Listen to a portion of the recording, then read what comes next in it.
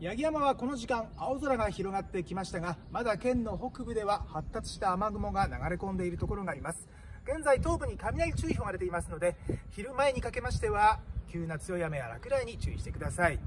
しかしそういったところも次第に高気圧に緩やかに覆われてきますので各地で青空となりそうです。今日の気温は各地で25度以上の夏日。沿岸は蒸し暑く内陸はカラッとした暑さになりますが各地とも平年を上回る予想です。今日も熱中症や紫外線対策は万全にしてください。